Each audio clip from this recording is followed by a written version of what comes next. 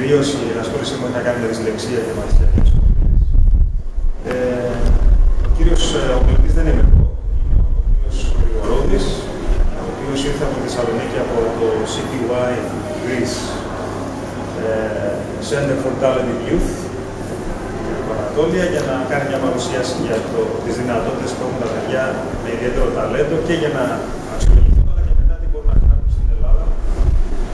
Καθότι από πλευράς κρατικών φορέων δεν υπάρχουν και ιδιαίτερε δυνατότητε. Ε, εγώ θα πολύ γρήγορα στο δύο πραγματάκια, ε, επειδή είναι μια ερώτηση πριν από την κυρία.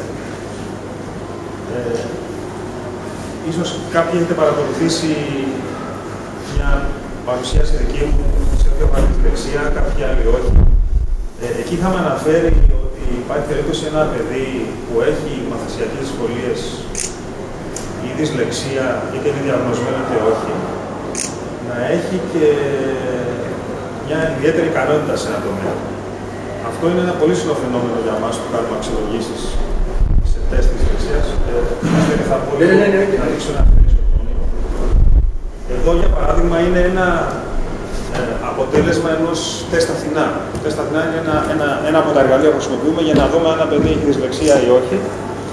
Ε, φέρεται σε ένα σημείο, το συγκεκριμένο παιδί δεν έχει δυσλεξία, έτσι, γιατί δεν έχει κάτι που να είναι στα κόκκινα. Ε, φαίνεται όμως ότι είναι, έχει ιδιαίτερες ικανότητες σε κάποιους τομείς, όπως το λεξιλόγιο, η μνήμη αριθμών, τα γραφήματα, διάκριση γραφημάτων, διάκριση τόπων κλπ. Αυτό τι σημαίνει, ότι να ταυτοποιήσουμε ένα παιδί, να δούμε αν έχει κάποιο μαθησιακό πρόβλημα ή όχι. Κάνω τουλάχιστον ένα από τα τεστ που υπάρχουν αυτή τη στιγμή, ένα από τα μπορώ να πω εγκεκριμένα τεστ για τα χρησιμοποιούνται στα παιδί, μπορεί ταυτόχρονα να ανακαλύψουμε και ε, μια υψηλή ικανότητα. Αυτό είναι πάρα πολύ συχνό φαινόμενο. Εγώ προσωπικά, σαν καθηγητής αντικών, έχω παιδιά δυσκολεύονται λόγω της λεξίας στην έκθεση, είναι όμως πάρα πολύ καλά στο listening. Και αυτό τους έχει ανοίξει πόρτες ε, στο να περάσουν κάποια, να πάρουν ένα πιστοποιητικό για το B2, παλιότερα λόγια κλπ. Επομένως, ε, αυτό που θα παρουσιάσουμε σήμερα δεν έχει να κάνει με μια συγκεκριμένη ομάδα παιδιών. Οποιο, οποιοδήποτε παιδί, ακόμα και ένα παιδί με μαθησιακές σχολείες, είναι πολύ πιθανό να έχει μια ιδιαίτερη ικανότητα κάτω. Ε, και αυτό μπορεί να φανεί μέσα από τα τεστ αντίστοιχα που υπάρχουν για παιδιά με ταλέντο, να το πούμε έτσι. Ε, πολύ σύντομα θα σας παρουσιάσω τη, τη θεωρία του Γκάρντερ που λέει ότι υπάρχουν 8 διαφορετικά εργαλεία εξυπνάτα, να το πούμε έτσι, και νοημοσύνη, το λογικό, το μουσικό, το προσωπικό και το διαπροσωπικό, το κιναισθετικό, το φυσικό και το γλωσσολογικό. Έτσι έχει χωριστεί και είναι πολύ γνωστή η θεωρία του. Ε, κατακλείδη λέει ότι ε, σύμφωνα με αυτή τη θεωρία τέλος πάντων, ε, δεν είναι μόνο μία συγκεκριμένη ικανότητα που έχει ένα παιδί για να πούμε ότι έχει ταλέντο, αλλά είναι ένας συνδυασμός.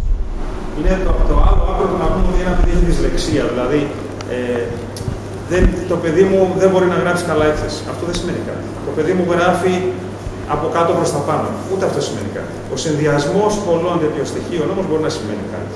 Το ίδιο συμβαίνει και με την ε, ιδιαίτερη ικανότητα, το ταλέντο, την υψηλή ικανότητα κλπ. Μερικά ε, συγγνώμη στα αγγλικά, αλλά η δική μου ήταν στην αγγλική και εγώ απλά ήθελα πολύ γρήγορα να κάνω μια παρουσίαση. Ένα παιδί που έχει ιδιαίτερες ικανότητες, μαθαίνει γρήγορα, ακόμα και, και σύνθετα πράγματα, ε, μπορεί να κάνει παραπάνω από ένα πράγματα την, την ίδια στιγμή, σε βαθμό που να είναι εντυπωσιακό. Ε, έχει μια κατανόηση που είναι ε, αρκετά υψηλότερη από το μέσο όρο της τάξης του, αν θέλετε. Ε, έχει διαφορετικά ενδιαφέροντα και όχι τα κλασικά. Ε, μαθαίνει και θυμάται πολύ εύκολα, δεν χρειάζεται να κάνει επαναλήψεις, έχει υψηλή ε, φαντασία και ρωτάει ασυνήθιστες για την ηλικία του ερωτήσεις ε, και βαριέται όταν έχει το καθημερινό μάθημα. Γιατί το θεωρεί ότι είναι τεχνημένο. Ε, γενικά η νοητική του ταχύτητα είναι υψηλότερη από ότι η ταχύτητα γραφής.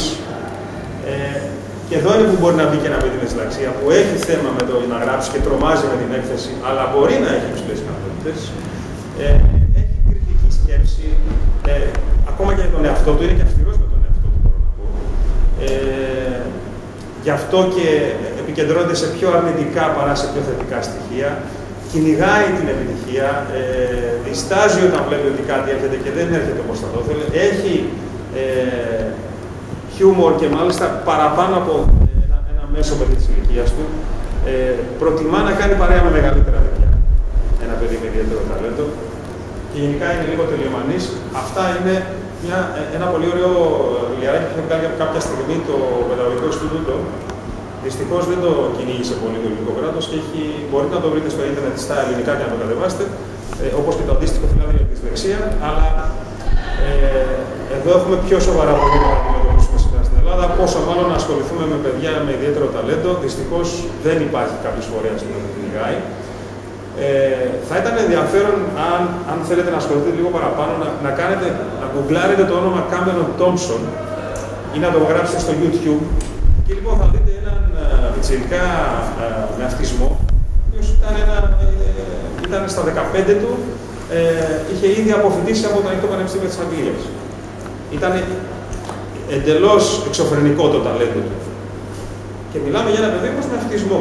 Είναι ένα κλασικό παράδειγμα ο Κάμερον Τόμσον ενός παιδιού ε, με αυτό που λέμε εμείς με mixed ability, δηλαδή με, με, με μεικτές ικανότητες.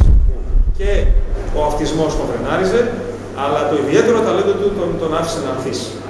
Έτσι, αυτός ο τομέας των παιδιών με ιδιαίτερες ικανότητες, ε, απλά με ιδιαίτερες ικανότητες, αλλά και με ιδιαίτερες ικανότητες και με μαθησιακές δυσκολίες, είναι ένας τομέας που τουλάχιστον στην Αγγλία και ιδιαίτερα στη Σκωτία με την οποία έχω την τύχη να συνεργάζομαι, τελευταία 6-7 χρόνια μεγάλη ανάπτυξη, γίνονται έρευνες από το 2009 και μετά ε, και πραγματικά είναι εντυπωσιακά τα αποτελέσματα. Αξίζει κανείς να ασχοληθεί.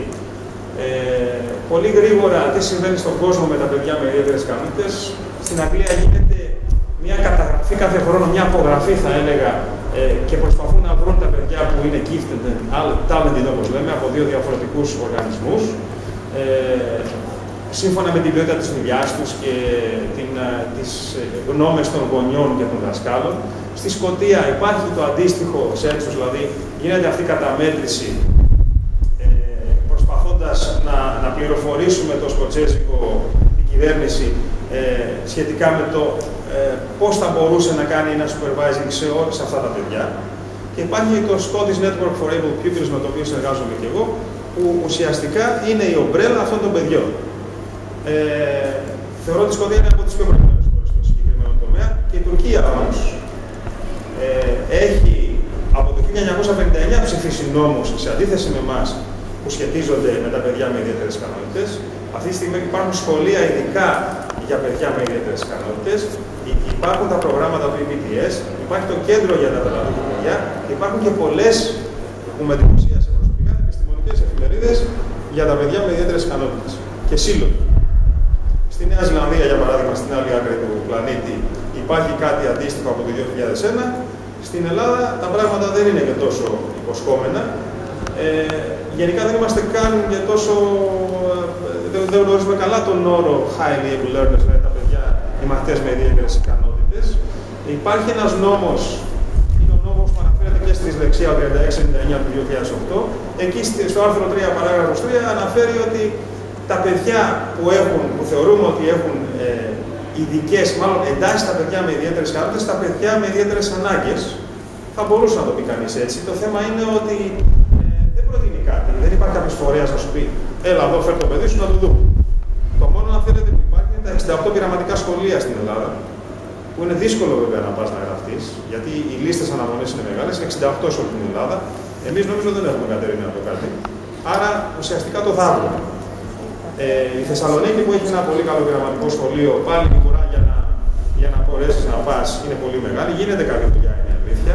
Όντως αφήσουν καλύτερα τα παιδιά αυτά εκεί, αλλά δεν φτάνουν. 68 σχολεία είναι πάρα πολύ λίγα σε όλη την επικράτεια. Και σε ένα νομό με 24 νησιά δεν έχεις κανένα, για παράδειγμα. Και εδώ ε, ο δικός μου ρόλος σταματάει.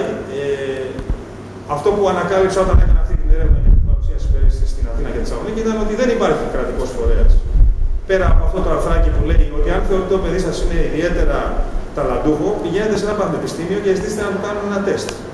Τα τεστ αυτά, παρόλο που το λέει ο 3699, δεν, δεν εφαρμόστηκαν ποτέ. Και εγώ που εργάζομαι στο Πανεπιστήμιο δεν είδα κανένα να μου χτυπήσει την πόρτα να μου πει φτιάξει ένα τεστ για το παιδί μου. Έτσι πήγε κιόλα Οπότε εδώ έρχεται ο ρόλος του CTY και κάνει αυτό που δεν κάνει το κράτος. Νομίζω υπό την αιγίδα του κράτους. Έτσι, δηλαδή είναι αναγνωρισμένο αυτό το έργο. Ε, εγώ δεν έχω κάτι άλλο να σας πω. Θα είμαι εδώ μετά για τις ερωτήσεις που πιθανόν να προκύψουν. Ε, το ελληνικό δημόσιο σταματάει εκεί. Δεν μπορεί να προσφέρει κάτι άλλο. Αν εσύ ανακαλύψεις σαν δασκάλα ή σαν γονιός ότι μα κοίταξε αυτό το παιδί έχει ιδιαίτερο ταλέντο ή αυτό που σχετίζεται με το δεξί του ημισφαίριο που είναι για παράδειγμα η δημιουργικότητα είναι πολύ ανεπτυγμένη και ας έχεις δυσλεξία το παιδί μου για παράδειγμα, μέχρι εκεί. Το τι θα κάνετε από εκεί και μετά θα σας το πει ο Αστέριος.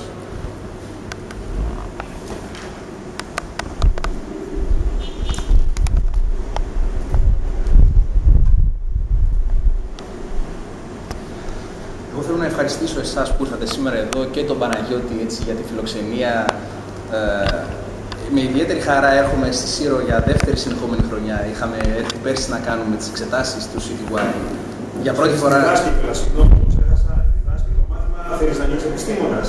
Ναι, ναι, εγώ κάνω μάθημα. που ήδη έχουν ε, κάνει, έχουν περάσει τα τεστ και έχουν... Ναι, θα τα πούμε αυτά, πώς είναι αυτή η διαδικασία. Άρα είναι κομμάτι αυτού του οργανισμού, έτσι. Αρχικά να πούμε για το CTY, είναι η δεύτερη χρονιά φέτος που θα γίνουν εξετάσεις του CTY εδώ στις Κυκλάδες όσον αφορά στη Σύρο. Με μεγάλη χαρά έρχομαι δεύτερη χρονιά εδώ. Να ευχαριστήσω για τη φιλοξενία και την εισαγωγή. Τι είναι το CTY, ας πούμε, ε, δύο λόγια. Ε, καταρχήν, ε, όλα ξεκίνησαν το 1979 από το Πανεπιστήμιο Johns Hopkins. Ένα πανεπιστήμιο το οποίο είναι ιδιαίτερα νεοτερίστικο. Υπήρχε ένας καθηγητής εκεί, ο Julian Stanley, ο οποίος ήταν ψυχολόγος, ε, και ο ρόλος του Ζούνα Στάλιν δεν ήταν απλά να δουλέψεις με παιδιά τα οποία είχαν κάποια χαρίσματα. Άλλωστε και αυτό τη λέξη, το ταλέντο, το χάρισμα δεν είναι κάτι το οποίο μπορεί κάποιος να ορίσει. Α πούμε, ο ίδιος ο Ανιστάν έλεγε ότι εγώ δεν είμαι χαρισματικός, έχω απλά παθιασμένη περιέργεια. Οπότε κυρίως αυτό το ρόλο ήρθε να παίξει η φιλοσοφία του CTY, να πάρει αυτή την παθιασμένη περιέργεια ορισμένων παιδιών τα οποία δεν καλυπτόταν από το σχολείο, είτε επειδή είχαν μαθησιακέ σχολείε, είτε επειδή το επίπεδό τους ήταν σημαντικά υψηλότερο.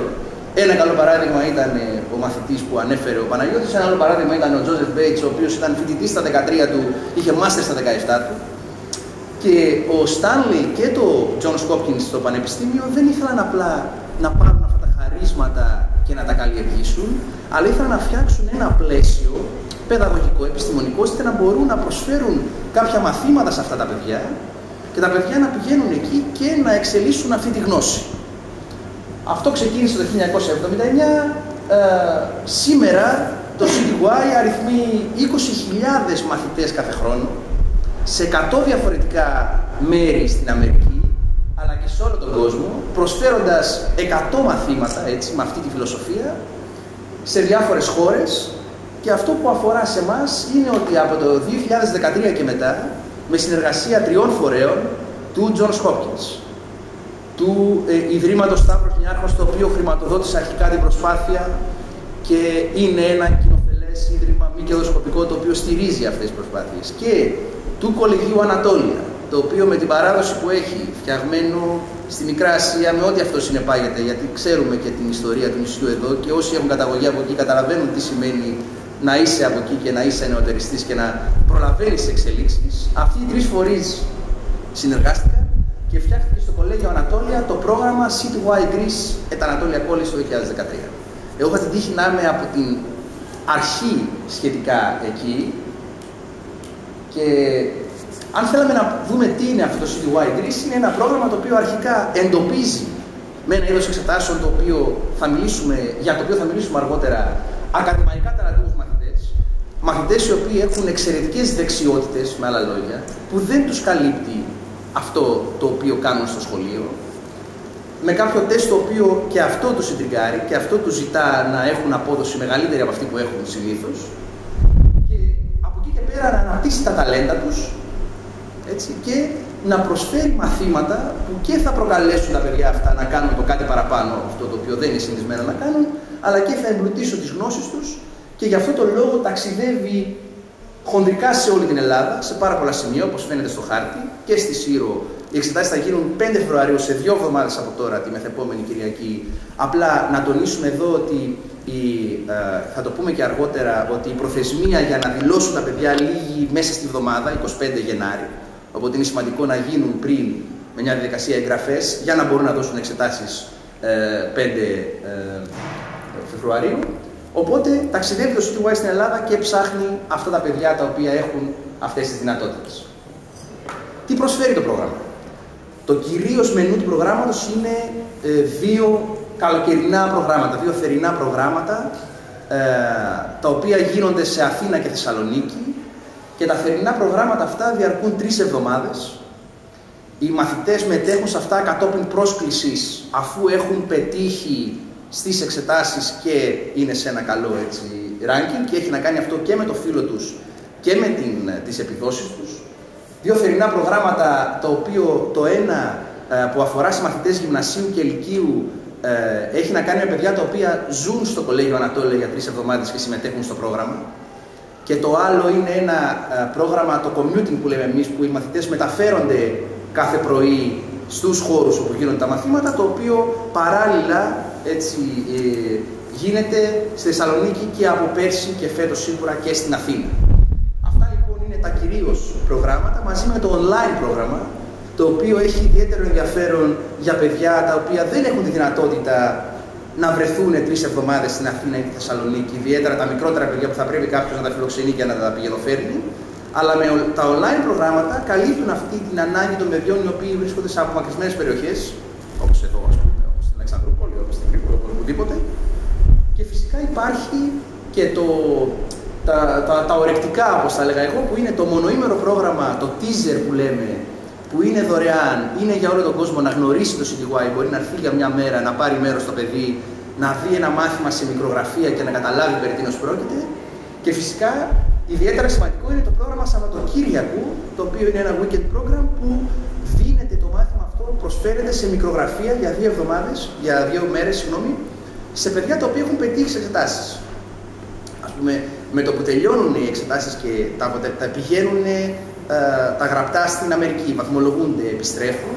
Από εκεί και πέρα με την ανακοίνωση των επιτυχόντων, αμέσως διοργανώνεται ένα τέτοιο weekend στην Αθήνα. Είχα τύχει πέρσι να έχω μια μαθήτρια από εδώ, από τη Σύρο, τη Μίκα, στην Αθήνα, η οποία έτσι με, μου έγραψε και ένα συγκινητικό γράμμα, μας ευχαρίστησε που της δίνει τη δυνατότητα να δείξει τις ικανότητές της. Δηλαδή υπάρχει τέτοια ε, έτσι, ε, αγάπη των παιδιών και τέτοια ε, αντιμετώπιση για το πρόγραμμα.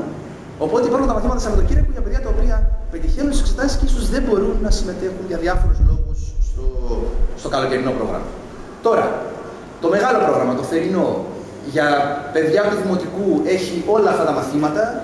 Αυτά θέλω να πω ότι υπάρχουν αναλυτικότατα στο site του CTY Greece όπου μπορεί κάποιος να, να μπει και να δει με αναλυτικές περιγραφές τι είναι το κάθε μάθημα. Δεν θα σας κουράσω εδώ, απλά να σας πω ότι υπάρχουν διάφορα μαθήματα για διάφορες έτσι, τάξεις του Δημοτικού. Για Τρίτη και Τετάρτη υπάρχουν άλλα μαθήματα, για Τετάρτη και Πέμπτη άλλα, για Πέμπτη και Έκτη Δημοτικού άλλα μαθήματα και πάρα πολλά σε Αθήνα και Θεσσαλονίκη. Και υπάρχει το, και το μεγάλο πρόγραμμα το θερινό, αλλά πριν από αυτό θα ήθελα έτσι να δούμε κάποιες εικόνες για να... Ε, δεν έχει σημασία σε ποιο μάθημα είναι αυτά, το μάθημα γράφεται κάτω, απλά θέλω να δούμε πώς μια τάξη του CTY, η οποία τάξη του CTY όπως φαίνεται δεν έχει καμία σχέση με την τάξη του σχολείου όπως τη ξέρω. Τα παιδιά συμμετέχουν, τα μαθήματα είναι διαδραστικά, τα παιδιά είναι συνέχεια ε, εμπλεκόμενα με το μάθημα, την τάξη τη φτιάχνουν τα ίδια τα παιδιά. Η τάξη στολίζεται με πράγματα τα οποία τα ίδια τα παιδιά φτιάχνουν και όπως βλέπουμε από τον τρόπο με τον οποίο λειτουργούν, έτσι ε, ε, συμμετέχουν συνέχεια ε, στο μάθημα αυτό, Υπάρχουν τα διάφορα αυτά μαθήματα τα οποία προσφέρονται.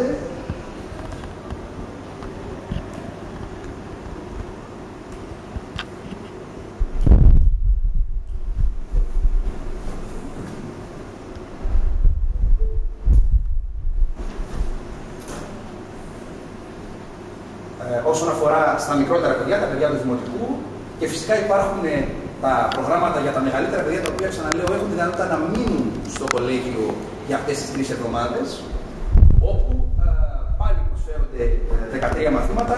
Θα ήθελα να πω εδώ... Ε, θα ήθελα να πω εδώ ότι τα προγράμματα αυτά ε, εξελίσσονται. Τα προγράμματα αυτά είναι καινούργια κάθε χρόνο. Προστίθενται καινούργια προγράμματα σε αυτά τα μαθήματα ε, κάθε χρόνο. έτσι ώστε ένα παιδί να μπορεί να έρθει και δύο και τρεις φορές να παρακολουθήσει διαφορετικά μαθήματα, αν το επιτρέπει η ηλικιακή κατηγορία. Και ε, βλέπουμε εδώ διάφορες εικόνες πάλι από το πρόγραμμα των μεγάλων παιδιών. Εδώ βέβαια τα πράγματα τα οποία διδάσκονται είναι αρκετά πιο εξελιγμένα από τα άλλα. Ξανά θέλω να δούμε την λογική, θέλω να δούμε τα πρόσωπα των παιδιών, θέλω να δούμε πώς φαίνεται η τάξη σε αυτά εδώ τα μαθήματα και τη συμμετοχή τους. Δεν ακούνε ένα μάθημα, συμμετέχουν στο μάθημα συνεχώς με διάφορες δραστηριότητες. Και φυσικά οι δραστηριότητες αυτές δεν σταματούν εκεί. Μια ειδική ομάδα είναι αυτή η οποία σχεδιάζει δραστηριότητες για τα παιδιά συνέχεια, μετά το τέλος των μαθημάτων, στη διάρκεια των μαθημάτων για τα παιδιά τα οποία ζουν στο κολέγιο. Οπότε έχουμε μια, έναν τέλειο συνδυασμό μάθησης και διασκέδασης και θα δούμε σε δύο βίντεο που θα σας δείξω σε λιγάκι πόσο τα παιδιά αυτά εκτιμούν αυτήν όλη τη διαδικασία. Τώρα, για τα online προγράμματα τα οποία παρουσιάζουν ιδιαίτερο ενδιαφέρον και θα αυξηθούν.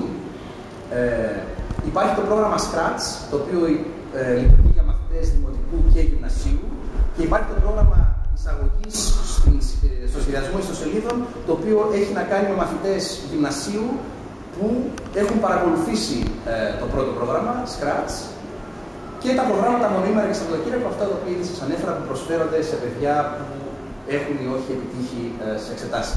Οι εξετάσεις τώρα θα γίνουν 5 Φεβρουαρίου. Οι εξετάσεις έχουν να κάνουν με δύο διαφορετικά τεστ. Το πρώτο, ε, το ε, SCAT, το SCAT που λέμε, έχει να κάνει με μαθητές είτε δημοτικού Β και Γ τάξης, είτε ενδιάμεσες τάξεις Τετάρτη και Πέμπτη, είτε εξελιγμένο το οποίο το advanced το οποίο έχει να κάνει με έκτη δημοτικού μέχρι και τρίτη γυμνασίου. Τα τεστ αποτελούνται από δύο ενότητες, γλώσσα και μαθηματικά, και ανάλογα με το πού θα πετύχει το παιδί, ξεκλειδώνουν ας πούμε, διάφορα πεδία είτε επιστημών είτε ανθρωπιστικών μαθημάτων. Και υπάρχει και ένα άλλο τεστ το οποίο εναλλακτικά μπορούν να δώσουν τα μεγαλύτερα παιδιά. Ε, η διαφορά με αυτό το τεστ είναι μπορεί να δοθεί μόνο μία φορά. Το οποίο έχει να κάνει με τη χωρική αντίληψη του παιδιού. Είναι ένα ιδιαίτερο τεστ, το Special Test Battery. Ε, διαρκεί 75 λεπτά και το οποίο μπορεί να ξεκλειδώσει μαθήματα τα οποία έχουν να κάνουν με την επιστήμη. Το πολύ σημαντικό. Όλοι αυτοί οι χορηγοί, το Ίδρυμα Σταύρος Νιάρχος και οι διάφοροι άλλοι χορηγοί είναι αυτοί που εξασφαλίζουν ένα σημαντικό αριθμό τροφιών για τα παιδιά.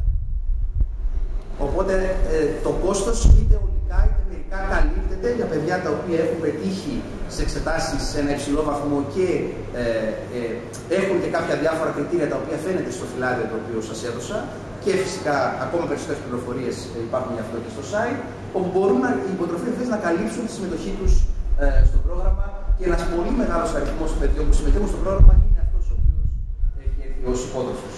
Τώρα, επειδή για μένα, όπως καταλάβετε, είναι σημαντικότερη εικόνα παρά αυτά που λέμε, θα ήθελα να σας δείξω δύο βίντεος για το πρόγραμμα και το, των μικρών και των μεγάλων παιδιών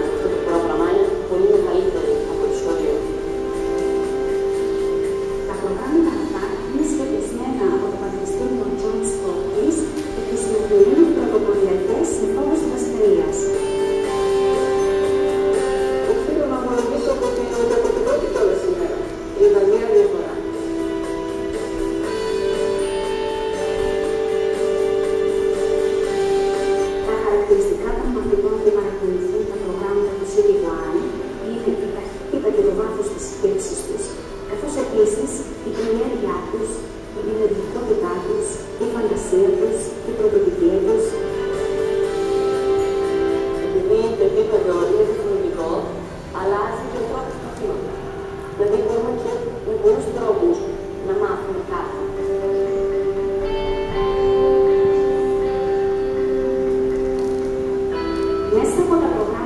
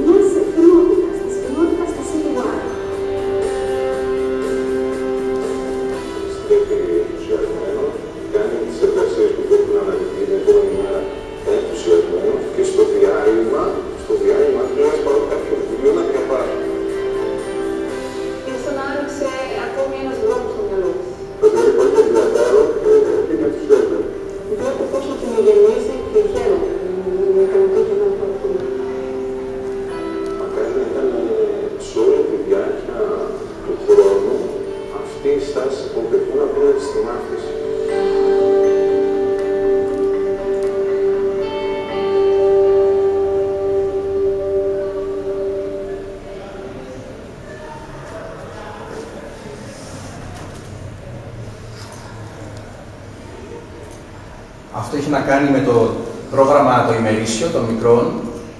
Και αυτό είναι το βίντεο για τα μεγαλύτερα παιδιά που ζουν στο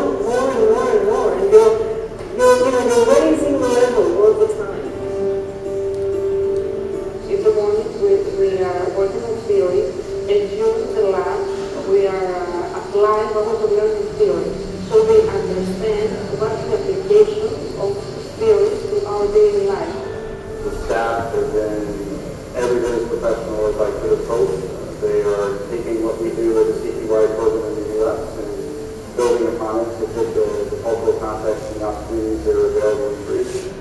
The teaching is structural and the teaching assistance as well.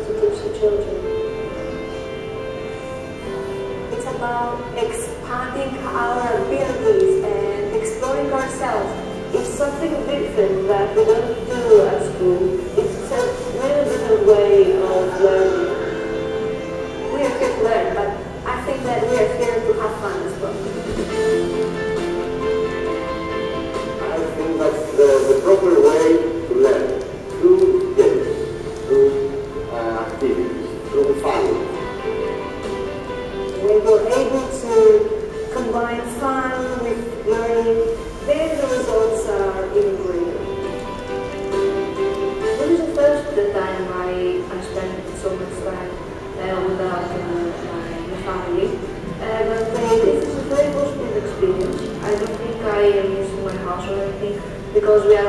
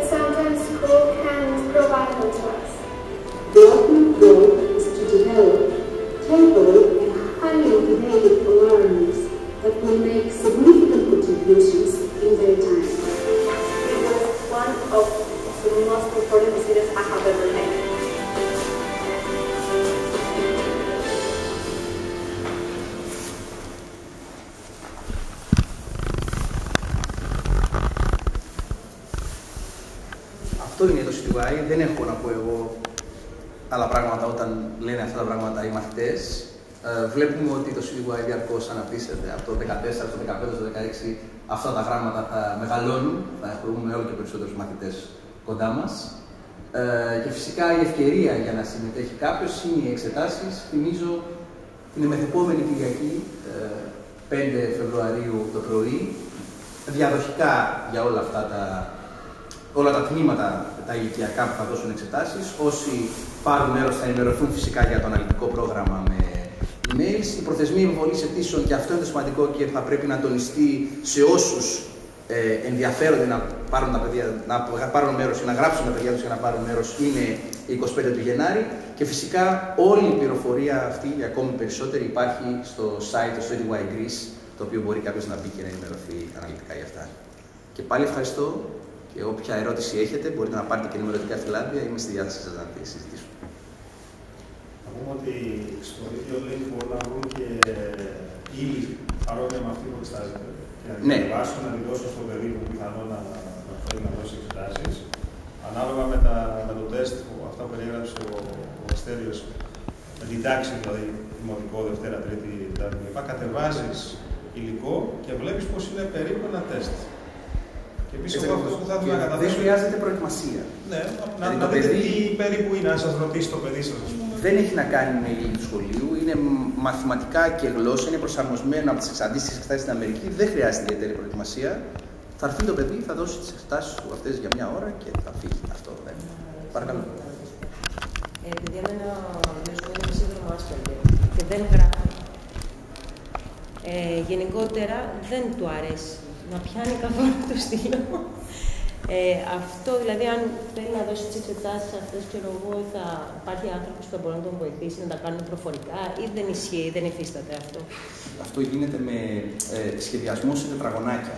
Δηλαδή θα έχει το χαρτί μπροστά του Ναι. και θα πρέπει να ζωγραφίσει το αντίστοιχο τετραγωνάκι. Αλλά μόνος το παιδί, συνήθως μόνος, του, μόνο του αντιμετωπίζει. Αλλά επειδή είχαμε παιδιά με Asperger ως μαθητές, δεν είχαν θέμα στο να το κάνουν αυτό. Δηλαδή το κάνανε κανονικά συμπλήρωση αυτό. Αλλά θα ρωτήσουμε, μπορούμε να το, να το δούμε αυτό. Αν έρθει στη συγκοινωνία με το γραφείο δηλαδή, θα μπορεί κάποιος να απαντήσει ακριβώς για τη διαδικασία. Ωραία, εγώ δηλαδή 25 στιγμή που δεν με ενδιαφέρει. Ε, 25 Ιανουαρίου θα πρέπει να έρθει να δηλώσω ότι Θα το κάνετε ηλεκτρονικά. ηλεκτρονικά. Όλα, όλα βρίσκονται στο site. Δηλαδή ανοίγει το site κάποιος αυτό και εκεί υπάρχουν πληροφορίες και αρχικά εγγράφεται. Μπορεί να κάνει την εγγραφή για να πάρει μέρος στις εξετάσεις και να ε, πάρει όποια πληροφορία χρειάζεται εκεί.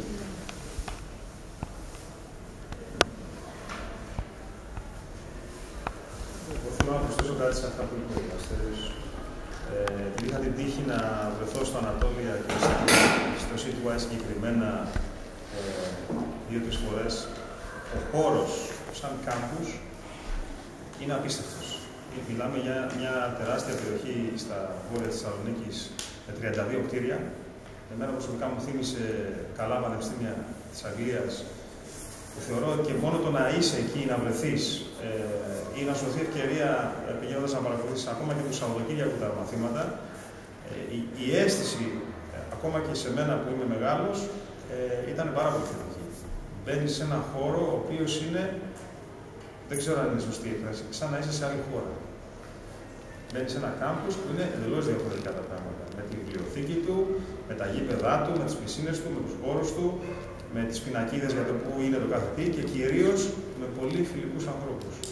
Ε, εγώ δεν κάνω λόγο να διαφημίσω οτιδήποτε. Ψάχνοντας, κάνοντας μια έρευνα για το μεταπτυχιακό μου είδα ότι δεν υπήρχαν ε, φορείς που να υποστηρίζουν παιδιά με, με ιδιαίτερες ικανότητες και όλοι οι δρόμοι κατέληγαν σε αυτό. Ακόμα και το ίδιο το κράτος δηλαδή ε, συνεργάζεται σε αυτό το κομμάτι σε ό,τι αφορά το CTY γιατί ακριβώς δεν μπορεί να το υποστηρίξει διαφορετικά.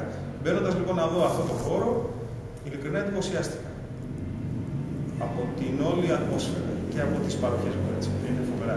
Και το γεγονός ότι, σου, ότι μπορεί το μέσο του Σταύρος Νιάρχος ε, και αν διαβάσετε και τις πληροφορίες θα δείτε ότι είναι πολύ εύκολο να γίνει αυτό. Γιατί τα, τα επίπεδα τα οικονομικά που βάζει για, για το εισόδημα των γονιών είναι πολύ ψηλά. Είναι πολύ εύκολο το παιδί να πάει να κάνει μια υποτροφία κάποιες μέρες. Πάρα πολύ εύκολο. Είναι πολύ σημαντικό αυτό. Να μην πληρώσεις τα Αυτό. Ναι, να ρωτήσω κάτι. Αυτό ο διαγωνισμό θα γίνεται κάθε χρόνο ή.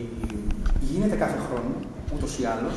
Ε, απλά τα παιδιά, αν δώσουν ας πούμε, μία φορά για την ηλικιακή, ηλικιακή τους κατηγορία, δεν χρειάζεται να ξαναδώσουν εξετάσεις. Μετά επιλέγονται αυτόματα εκτός αν αλλάξουν ηλικία, οπότε θα πρέπει να δώσουν το επόμενο βήμα των εξετάσεων. Ε, κάτι πέντε δευτερόλεπτα, επειδή είμαι σύμβουλο με καθηγητές Μμμ. στην υπηρεσία. Εντάξει, πρέπει να γνωρίζουμε περισσότερε πληροφορίε. Να ρωτήσω το εξής, μέχρι ε, μαθητές τρίτης γυμνασίου, από ό,τι κατάλαβα, δικαιούνται να Ναι, δώσουν και εξετάσεις. μετά Ναι. μέχρι και πρώτη ε, ή δευτέρα ηλικίου σε ορισμένα μαθήματα έρχονται και το παρακολουθούν. Αλλά εξετάσεις είναι αυτές. Είναι έκτη δημοτικού με τρίτη γυμνασίου. Και Είναι αφορά μόνο- τρίτη δημοτικού όχι. Ε, ε, για, τα, για το advanced. Α, για το advanced. Αλλιώς είναι από Δευτέρα δημοτικού. Α, στη μέση. Είναι Δευτέρα, Τρίτη, Τετάρτη, Πέμπτη και Έκτη Δημοτικού με Τρίτη Γυμνασίου. Ώστε πρώτη ηλικίου το μεγαλύτερο να έρθει το παιδί να πάρει μέρος στα μαθήματα.